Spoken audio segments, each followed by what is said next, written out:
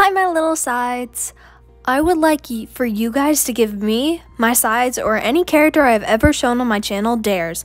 Sorry for my voice if it wasn't what you were expecting, but I'm too lazy to type everything out.